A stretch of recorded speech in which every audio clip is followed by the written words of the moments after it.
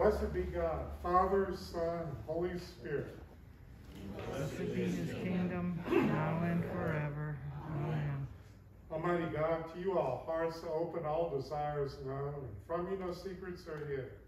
Cleanse the thoughts of our hearts by the inspiration of your Holy Spirit, that we may perfectly love you and worthily magnify your holy name through Christ our Lord. Amen. Glory to God in the highest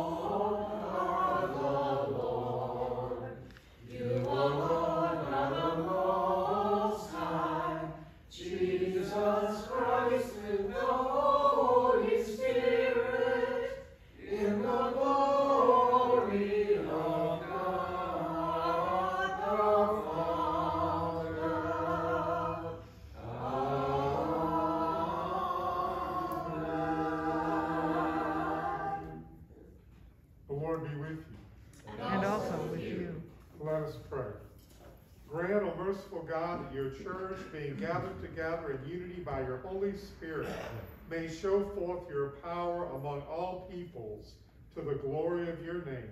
Through Jesus Christ our Lord, who lives and reigns with you and the Holy Spirit, one God, forever and ever. Amen. Please be seated. A reading from Isaiah. If you remove the yoke from among you, the pointing of the finger, the speaking of evil, if you offer your food to the hungry and satisfy the needs of the afflicted, then your light shall rise in the darkness and your gloom be like the noonday. The Lord will guide you continually and satisfy your needs in parched places, and make your bones strong, and be and you shall be like a watered garden, like a spring of water, whose waters never fail. Your ancient ruins shall be rebuilt. You shall raise up the foundations of many generations. You shall be called a repairer of the breach, the restorer of streets to live in. If you refrain from trampling the Sabbath, from pursuing your own interests on my holy day, if you call the Sabbath a delight and the day of the Lord honorable, if you honor it, not going your own ways, serving your own interests, or pursuing your own affairs, then you shall take the delight in the Lord, and I will make you ride upon the heights of the earth. I will feed you with the heritage of your ancestor Jacob, for the mouth of the Lord has spoken. The word of the Lord. Thanks. Thanks be to God. The psalm appointed for today is Psalm 103, found in your bulletin or on page 733 in the Book of Common Prayer. We will read it responsibly by half verse, breaking at the asterisk. Bless the Lord, O my soul. And all that is within me, bless his holy name. Bless the Lord, O my soul. And forget not all his benefits. He forgives all your sins. And heals all your infirmities. He redeems your life from the grave. And crowns you with mercy and loving kindness. He satisfies you with good things. And your youth is renewed like the. The Lord executes righteousness. And judgment for all who are oppressed. He made his ways known to Moses. And his works to the children of Israel. The Lord is full of compassion and mercy. Slow to anger and of great kindness. And not come to something that can be touched. A blazing fire, and darkness, and gloom, and a tempest, and the sound of a trumpet, and the voice whose words made the hearers beg that not another word be spoken to them.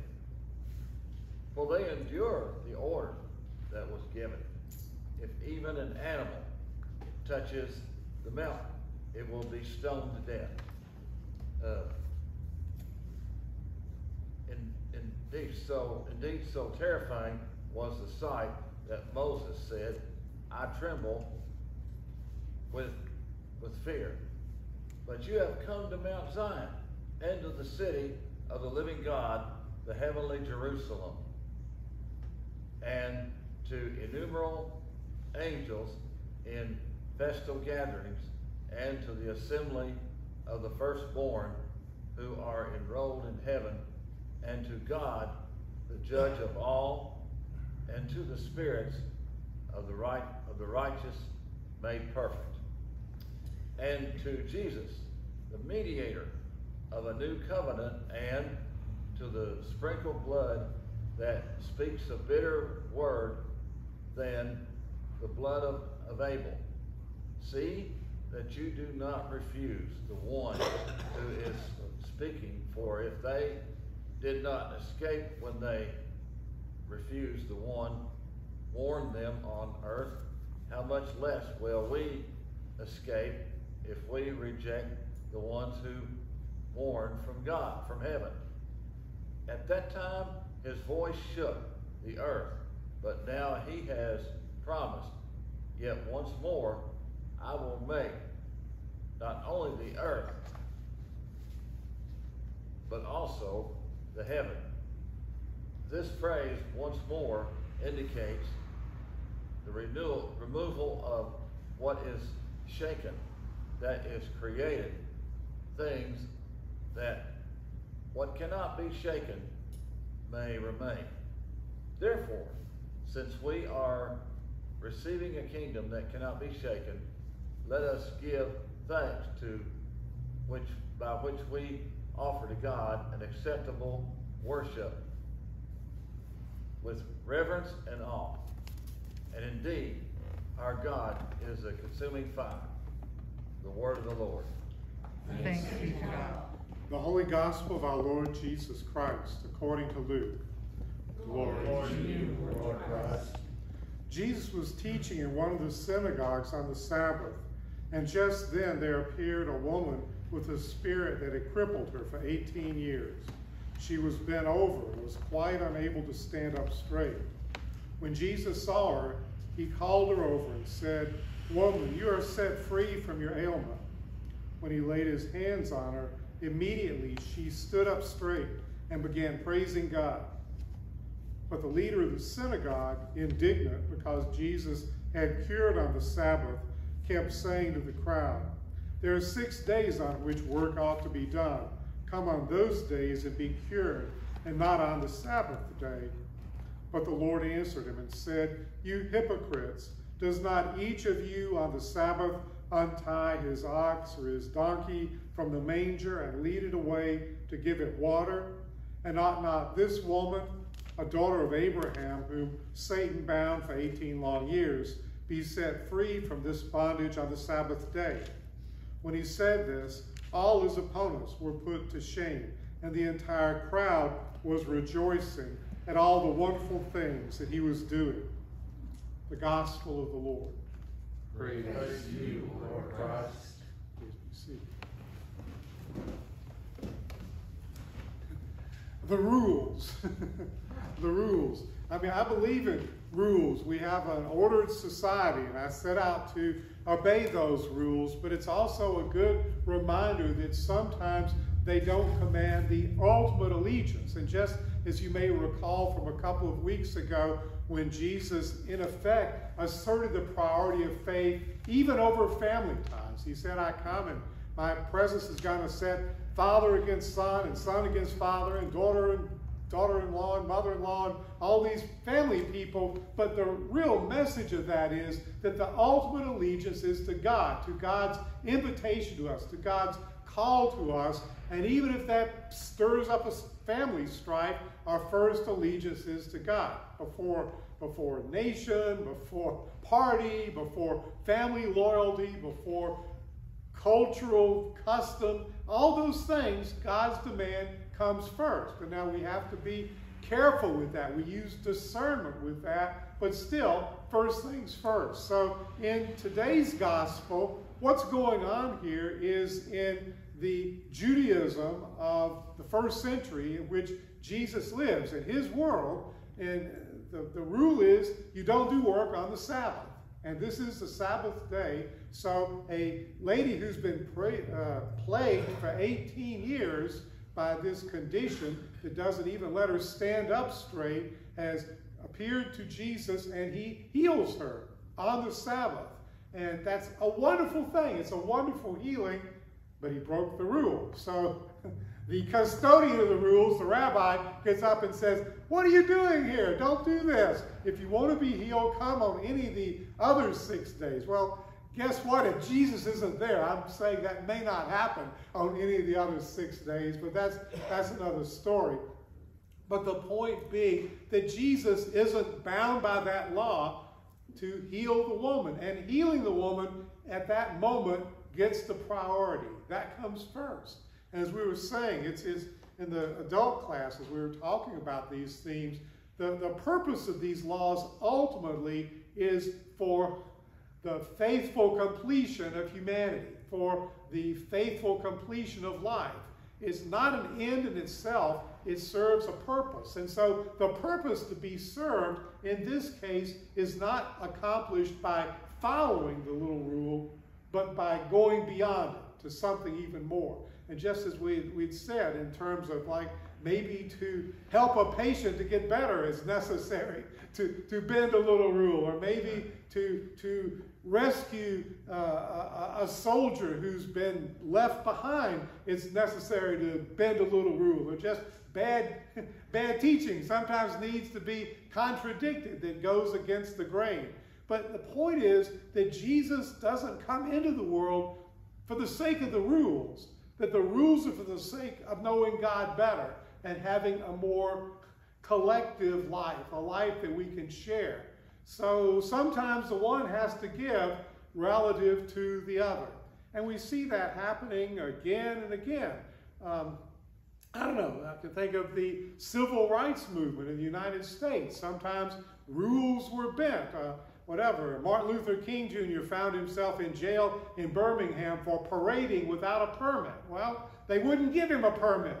So if he was going to have a demonstration in favor of breaking down these, these barriers based on racial discrimination, it was necessary to break that law. So he was out there parading without a permit. Okay. But he was parading without a permit for a much more important reason we were saying today, the, uh, the Underground Railroad that came through this part of the world uh, on the way to Cincinnati, setting people free. Uh, they were breaking a rule to do that. The rule in effect at that time was you didn't set slaves free. They were property. You were taking away someone's property. But a deeper understanding of what was going on there was this is a human being and we're setting them free. And to do that, they broke a rule. Uh, we said in Nazi Germany, you could see people who were Jews being rounded up, put into concentration camps, put to death. Uh, there were those who hid them, hid them to keep them safe, keep them from being arrested, keep them from being taken away. Um, they were breaking rules when they did that. But just to say, there is a time when the most important thing has to come first. And that's what Jesus shows us, tells us today when he breaks the Sabbath rule to heal the woman who's been plagued for 18 years with her condition. Now, one other thing I will say to you is look at the motivation. In other words, it's not a selfish motivation. Jesus does this to help her, to help the other person. Just like the, the nurse, the physician in the hospital that bends an administrative rule uh, does that to help that patient. It's not like, wow, I'm going to get really rich off this or something. It's doing it for another. So if the goal, the end, the purpose is to help another person, the, the, the going back to get the, the wounded soldier left behind is to help that person who's been left behind. So I'm just saying, it's not like I'm bending this rule so my, my margin of profit will go up by an additional 20%. It's like I'm helping someone else. I'm helping to advance the kingdom of God. I'm reaching beyond myself for something more, for something greater. And the something greater is God with us. The something greater is God's presence in our lives. The something greater is ultimately ministry, as we also talked about today. That God's work in the world is going to be done by imperfect people like you and me. That we take up our ministry and follow Him. And it's like, take up your cross and follow. Well, that's your ministry, whether it's teaching or leading or organizing or just a ministry of presence. The, the word you have to say to the person who lives near you, healing the person who needs help. And, and healing can take a lot of different shapes. As a uh, medical director of our service said, we hope to heal everyone. We may not cure everyone, but we hope to heal. In other words, sometimes even in a case that can't be medically turned around, it is possible to help the person come to a, a healing of spirit, a healing of memory, a healing of coming to terms with what's going on in their life at that time. So just to say, whatever your time of life or condition, I mean, even if you can't get out of bed, you can pray. You can pray for others. You can pray for the world. You can pray for, for healing and hope and renewal. And so, as we go forward, to remember that the ministry that we share can be God at work in our world, and that gets the first priority. We believe in one God, the Father, the Almighty, maker of heaven and earth of all that is seen and unseen. We believe in one Lord Jesus Christ, the only Son of God, eternally begotten of the Father, God from God, life from life, true God from true God, begotten, not made, of one being with the Father. Through him all things were made. For us and for our salvation, he came down from heaven by the power of the Holy Spirit, he became incarnate from the Virgin Mary and was a man. For our sake he was crucified under Pontius Pilate. He suffered death and was buried. On the third day he rose again, and in with the Scriptures, he ascended into heaven and is seated at the right hand of the Father. He will come again in glory to judge the living and the dead and his kingdom will have no end. We believe in the Holy Spirit, the Lord, the giver of life, who proceeds from the Father and the Son. With the Father and the Son, he is worshipped and glorified. He is spoken through the prophets. We believe in one holy Catholic Apostolic Church.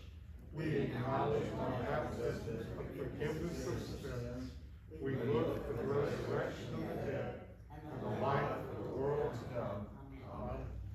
The prayers of the people are Form 6 found on page 392 in the Book of Common Prayer.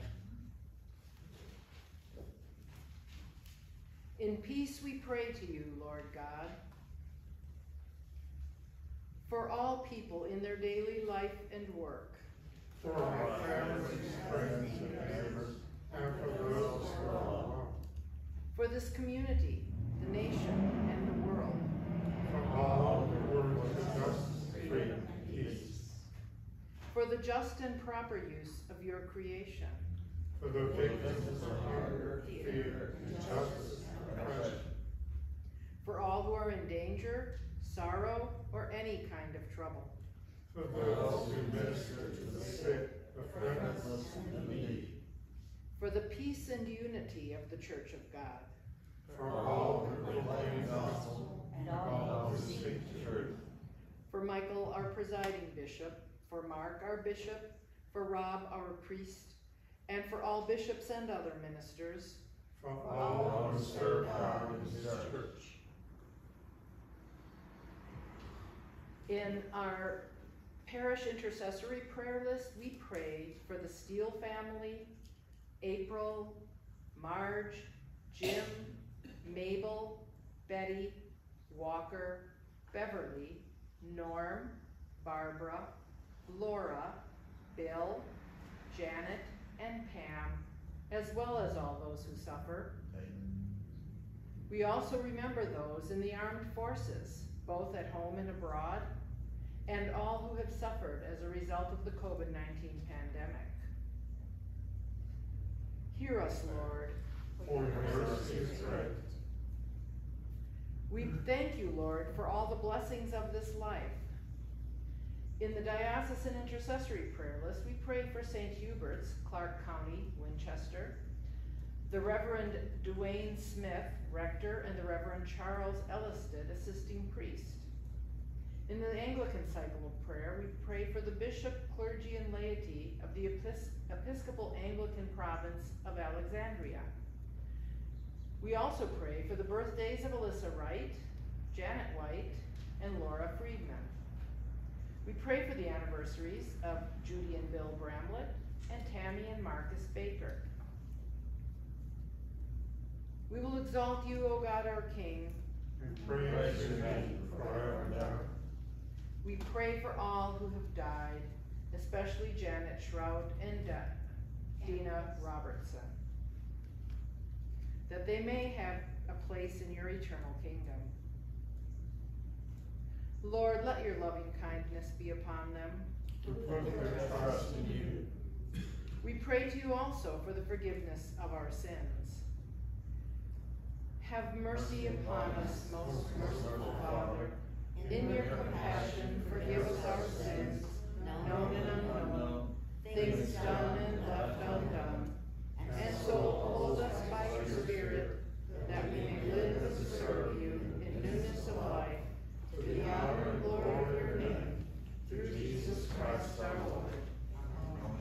Almighty God, have mercy on you, forgive you all your sins our Lord Jesus Christ. Strengthen you in all goodness, and by the power of the Holy Spirit, keep you in eternal life. Amen. Stand as you're. The peace of the Lord be always with you. And also with you. Praise God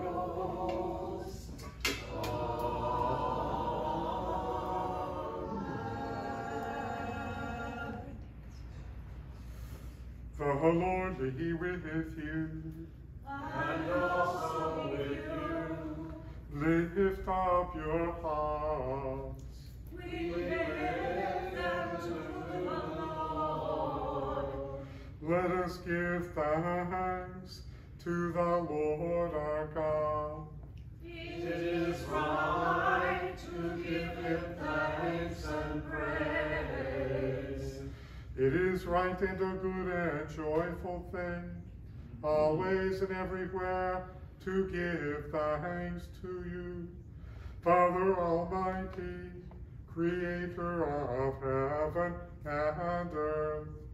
For by water and the Holy Spirit, you have made us a new people in Jesus Christ our Lord, to show forth your glory in all the world. Therefore we praise you, joining our voices with angels and archangels, and with all the company of heaven, who forever sing this hymn, to proclaim the glory of your name. Holy, holy.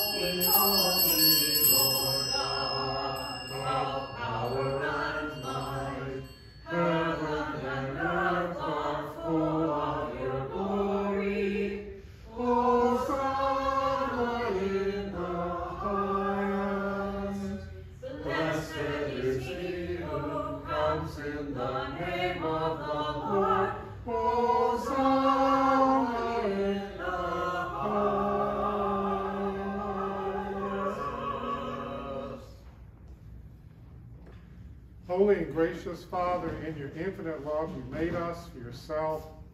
And when we had fallen into sin and become subject to evil and death, you, in your mercy, sent Jesus Christ, your only and eternal Son, to share our human nature, to live and die as one of us, to reconcile us to you, the God and Father of all.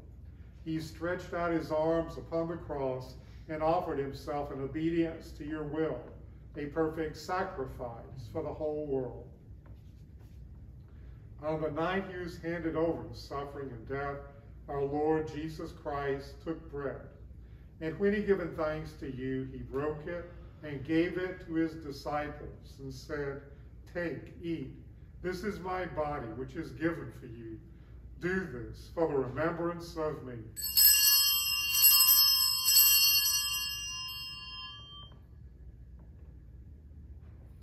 After supper, he took the cup of wine, and when he given thanks, he gave it to them and said, Drink this, all of you. This is my blood of the new covenant, which is shed for you and for many for the forgiveness of sins. Whenever you drink it, do this for the remembrance of me.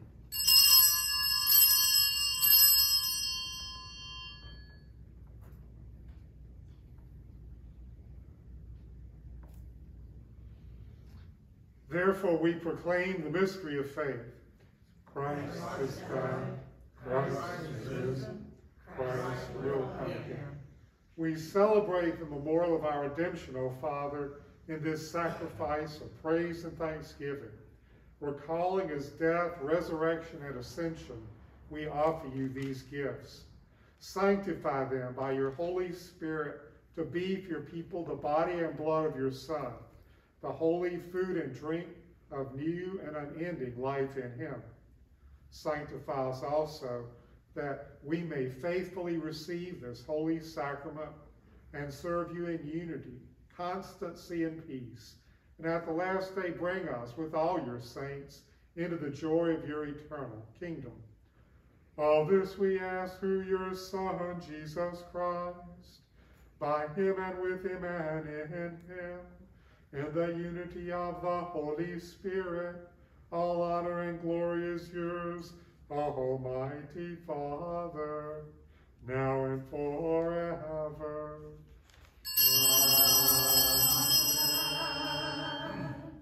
And now, as our Savior Christ has taught us, we are bold to say, Our Father, who art in heaven, hallowed be thy name. Thy kingdom come thy will be done, on earth as it is in heaven.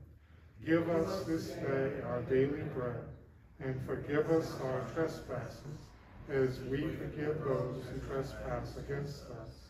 And lead us not into temptation, but deliver us from evil. For thine is the kingdom, and the power, and the glory, forever and ever. Amen.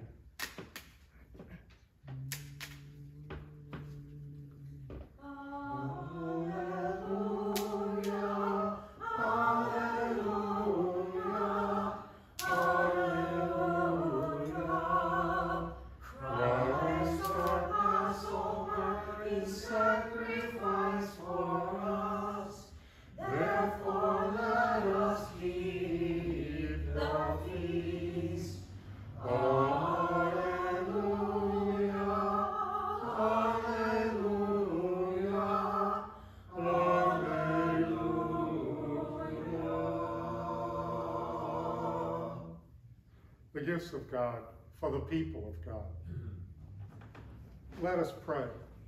Eternal God, Heavenly Father, you have graciously accepted us as living members of your Son, our Savior, Jesus Christ, and you have fed us with spiritual food in the sacrament of his body and blood.